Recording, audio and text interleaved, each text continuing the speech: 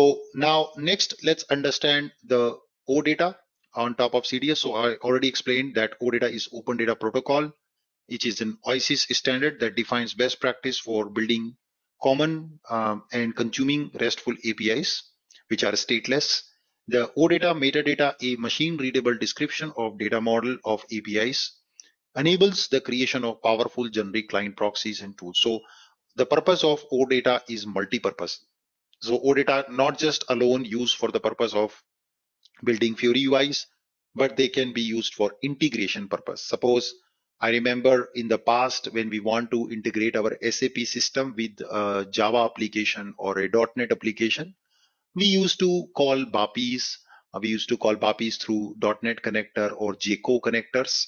And also we had a lot of different other techniques like IDOC or ALE to push data from a legacy system.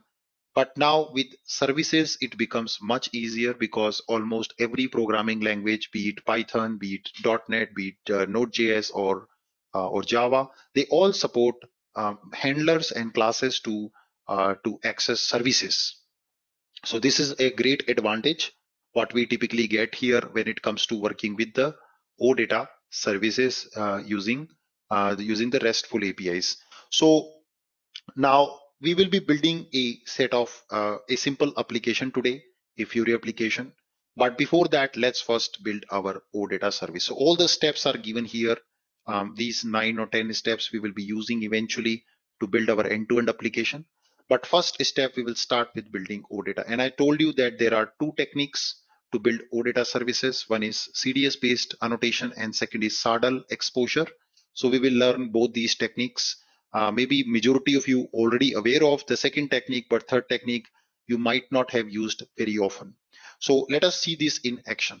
I will switch over back. And here what we will do is we will first create our OData. So guys, we have two things.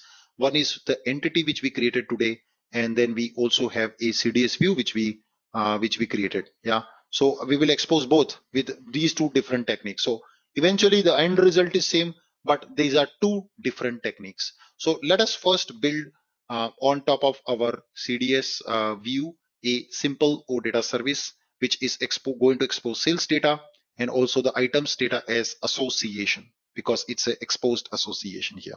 So if I come back, it's fairly simple. Just put one annotation called odata.publish equals to true. That's all. I'll save it and I will now activate this. That's all. Congratulations. Your OData is ready. Even you have no idea what OData is, even you are absolute beginner on OData, you have created successfully your first OData service in the system. But hold on, this service is created, but it is not registered yet. To register, we have to follow the same process which I did few seconds ago for the standard SAP service. We have to just hover our mouse and copy this name from here to copy this name. So did you pay attention that this the service name which auto generates will have the same name as the CDS view name underscore CDS. That's the name of our service. So I will come back now to the main service transaction code, which we just used few seconds ago to activate this standard SAP service. And I go add service and I will now enter our generated service name from OData. Yeah, I press enter I select and I click add selected service and I will say okay. Click OK. I am done. Yes. Now let us go back and see this in action. So I will switch over back and we can just run it. So how do I test it? So one way is if you know the URL already you can, but I'll show you a quick trick. So go on the left side in Eclipse called outline tool. So this outline view and you see here secondary object of CDS OData exposure. Right click and say open. And of course, I will now have to replace quickly this IP address here so that I can access, enter. And oops, I'm so sorry, made a mistake. There you go. So this is our OData response now. Wow. And you see here, it exposed my CDS as a entity set and my items also has another entity set. So this is what we have done. We have got our service document first of all. As a next step, we will see how to access data. So of course, we pick the entity set name. We go on the top and we press enter. And this is our entity set data of all the sales order data. So this data looks not so user friendly, of course. So what we do is we put question mark dollar format equals to JSON to see this in the JSON format. And now you see it will format in JSON. Now, just an additional learning here, I have added a browser plugin in my in my browser so that I can see this beautiful output. You may not see this, you will see a raw JSON. So better you can also add it. So just add JSON viewer plugin Chrome and just go to JSON viewer plugin or JSON viewer extension. These are different different of them. You can use any one of them. So you can use this JSON viewer plugin and add to your Chrome browser. So you can also see this beautiful output the way I see. Same way you can also see that the system. I've added this one actually JSON view plugin. So this I've already added. You see this is what formats our JSON and make it look beautiful. So please everyone on your system kindly add the OData annotation. Go to SEGW, sorry, go to main service T-code, register your service, come back and go to outline view and just test our service, access the entity set and access your uh, data in the JSON format. If needed, please add this JSON viewer plugin in your browser, Chrome browser. Chrome is the recommended browser for both development and consumption. So you've got five minutes, everybody, to do this exercise on your systems, please. Service generation technique. What's the purpose? So as we know, there are three techniques to build. We already used annotations to build CDS view, but now we will use SADL. Why we need SADL? So first main reason is you have no choice of name of the service, right? When we created the OData using CDS annotation, it gave a default name, which is CDS name underscore CDS. So I have literally no choice to actually go and change my view name, change my OData name. Then the second reason is let's say in your company you build five different different CDS views. Now you just want one OData service on top of these five CDS views. How do you do it? Because here each view is causing one OData. It's one to one because the moment you put annotation, it will actually publish this as one service. But in general, sometimes we want to build a big service with all the CDS inside. Yeah. So in that case, you can go with SADL based approach for the CDS implementation. And there could be several reasons, other reasons like you already have a OData service, which is being used heavily in your company and you just built a CDS and you want to add also the CDS entities on top of existing OData built in your company for Fiori apps or for integration purpose. So let's go back and we will now go to transaction code SEGW. And here we will create first a gateway project. And let's now I have a choice to give a name. So I give ZINV underscore XX. That's our naming convention. And I will say um, SADL. SADL based so SADL by the way, stands for Service Annotation Description Language, or I think A is, I am forgetting the name of A. I'll check that during the break.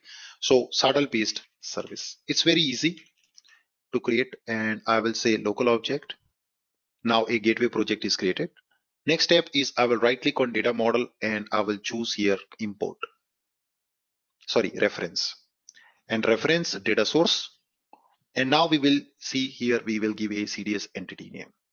So let us switch over back to our CDS entity and copy this CDS entity name and paste that over here in the GUI window. Click next. Wow. It reads my service and it reads associations. So I will want to also expose associations. Yeah. This is another benefit. Sometimes you want to expose CDS, but not associations.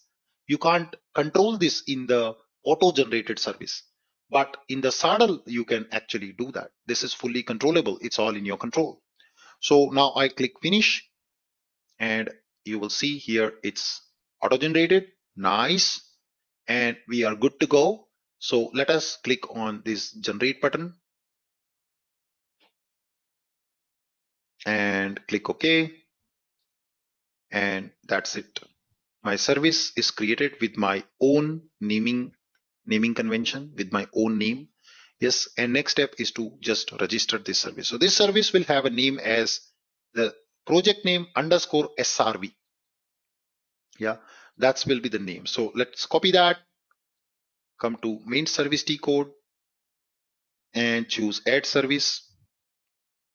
Put the service name underscore SRV. Of course, don't forget to do that. And let's click on select and add service. That's all. So now you got a service with your own name you like. And if you switch over back to the system and here I'm going to put my service name instead of um, instead of the CDS name, I press enter, I get my service document. I can again read this question mark or format goes to JSON and I will get my data once again for this. Now Again, you have a advantage because we created association in the CDS, if you all remember in last class. Because of that, now you automatically got association here. So for each order, you can fetch the items of the order. You click and it will get you items of that particular order here on the screen. Wow. So it's a lazy loading, which is also available now to you on the screen directly to actually read the dependent data quite easily. This is the main benefit you get when it comes to working with associations. So the association get transformed into a association at OData level automatically, which we built in the in the CDS view yesterday. So this is a great advantage for association as well. You don't have to do extra coding by yourself to get this this work done. Yeah. Now these services which we generated automatically offers you the uh, the pagination capability. Suppose I want to just read uh, top two sales orders. So I can do dollar top equals to two. And you see it reads only top two sales order. This is very helpful, especially when you build a mobile application and your sales order table contain 1 billion records, 1 trillion records. You can't load all of them in mobile.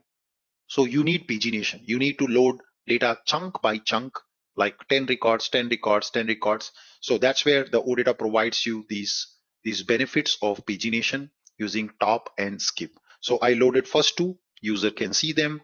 Next, when user scroll down, I load next two. So I say skip equals to two, and then I'll skip first two and load next two. So this is a amazing feature which you get when it comes to working with OData service, the so-called pagination feature, which is out of the box from the Microsoft OData protocol. Cool.